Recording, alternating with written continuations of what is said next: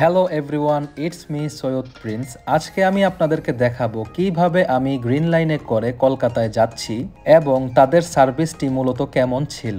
প্রথমেই আমি তাদের আবদুল্লাপুরের কাউন্টারে চলে যাই। সেখান থেকে রাত এগারোটার দিকে একটি বাস আমাকে তাদের রাজারবাগ কাউন্টারে নিয়ে আসে। তারপর আপনারা তো তাদের রাজারবাগ কাউন্টারটি দেখতেই পেয়েছেন কেমন। সেখান থেকে আমি বাসে উঠে যাই মানে বাসটি পরিবর্তন হয়। তারপর বাস ছুটে চলে বেনাপুলের উদ্দেশ্যে পদ্মা সেতু হয়ে। পদ্মা সেতুর কিছু অংশ আপনারা দেখতে পাবেন আর আমি আপনাদেরকে বেনাপুলের রাস্তারও কিছু দৃশ্য দেখাবো।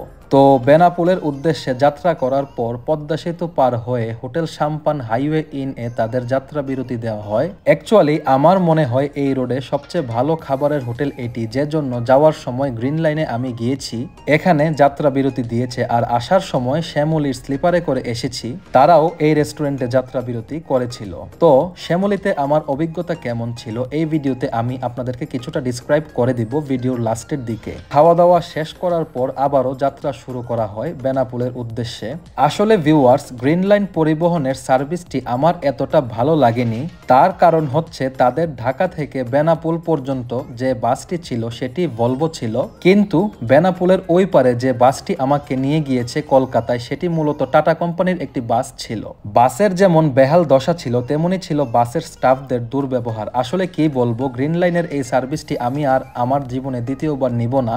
দ্বিতীয়ত, কাউকে বলব না যে আপনারা এই সার্ভিসটি নেন। সেজন্যই আসার সময় আমি শ্যামলির সার্ভিসটি নিয়েছি এবং আমি তাদের সার্ভিসে হ্যাপি এবং স্যাটিসফাইড। তো ভিউয়ার্স বেনাপোলে পৌঁছানোর পর পরই ইমিগ্রেশন আর কাস্টমের সব কাজ শেষ করে ঢুকে পড়লাম ইন্ডিয়াতে ইন্ডিয়াতে ঢোকার পরপরই সকালের নাস্তা সেরে ফেললাম, তারপর কিছু কারেন্সি এক্সচেঞ্জ করে নিলাম।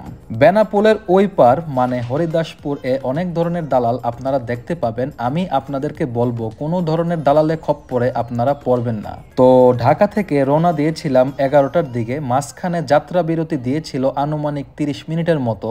তারপর রাত পাঁচটা নাগাদ আমি বেনাপোলে পৌঁছে গিয়েছিলাম ছয়টার দিকে বর্ডার খোলা হয়েছিল। সো ভিউয়ার্স আসার সময় আমি যে বাসটি দিয়ে এসেছি শ্যামলির, সেই বাসটি ছিল হুন্দাই বাস, যার জন্য জার্নিটা তেমন একটা ফিল হয় নাই। তো শ্যামলির হুন্দাই যে বাসটি, ওইটা আবার ডাইরেক্ট সার্ভিস ছিল, কিন্তু আমি স্লিপারের অপশনটা নিয়েছিলাম। যে জন্য বেনাপোলে আসার পর আমি স্লিপার বাসে উঠে যাই, কারণ ইন্ডিয়াতে তাদের কোনো স্লিপার বাস চলাচল করে না এই রোডে। এবং আমি আরেকটি বিষয় লক্ষ্য করলাম, বেনাপোল ক্রস করে যখন আমি হরিদাসপুরে প্রবেশ করেছি হরিদাসপুরের মানুষজন খুবই একটা আক্রমণাত্মক লেগেছে আমার কাছে। আপনারা যারা এই ভিডিওটি দেখতেছেন এবং বেনাপোল হয়ে ইন্ডিয়াতে প্রবেশ করবেন, তারা এই বিষয়টা খুবই মনোযোগ সহকারে মাথায় রাখবেন। এতটা আক্রমণাত্মক মানুষ আমি আর কোথাও দেখি নাই। এছাড়াও হরিদাসপুরের ইমিগ্রেশন অফিসার এবং কাস্টম অফিসার সহ যারাই কর্মরত ছিল, তারাও খুব বাজে আচরণ করতেছিল মানুষের সাথে যা আমি দেখতে পেলাম। আসলে ভিউয়ার্স আমি আর কখনো বেনাপোল ল্যান্ড বর্ডারটি ব্যবহার করব না বলে সিদ্ধান্ত নিয়েছি। তো আপনারা দেখতেই পেয়েছেন বর্ডার ক্রস করার পরে টাটা কোম্পানির ধ্বজভঙ্গ একটি বাস গ্রিন লাইনের ব্যানার ব্যবহার করে আমাদেরকে নিয়ে যাচ্ছে কলকাতায়। যে বাসের তিক্ত অভিজ্ঞতায় আমি আসলেই অনেক ব্যথিত। কলকাতা থেকে বাংলাদেশে আসার সময় আপনারা মার্কিউ স্ট্রিটে অনেকগুলো বাস কাউন্টার পেয়ে যাবেন, যেমন Shyamoli, Sohag, Sauhardya, Saint Martin Green Line সহ আরও অনেক কাউন্টার রয়েছে। দেখতে পেলাম বারোশো থেকে চোদ্দশো রুপির মধ্যে আপনারা শ্যামলি ব্যতীত সবগুলো বাস থেকে সার্ভিস সেবা নিতে পারবেন। কিন্তু যদি আপনারা শ্যামলির সার্ভিস নিতে চান, তাহলে স্লিপারের জন্য পড়বে সতেরোশো রুপি আর চেয়ারের জন্য পড়বে ষোলোশো রুপি করে প্রতি টিকিট। সো ভিউয়ার্স এই ছিল আমার ঢাকা থেকে কলকাতায় গ্রিন লাইনে করে যাওয়ার সময় তিক্ত অভিজ্ঞতা, যা মোটামুটি আমি আপনাদের সাথে শেয়ার করেছি। আপনারা এই ভিডিওর সামনের অংশে দেখতে পারবেন ইন্ডিয়ায় প্রবেশের পর আমার অভিজ্ঞতা কেমন ছিল। আশা করি আপনারা এই ভিডিওটি দেখে উপকৃত হবেন। সবাই ভালো থাকবেন, সুস্থ থাকবেন। আল্লাহ হাফেজ।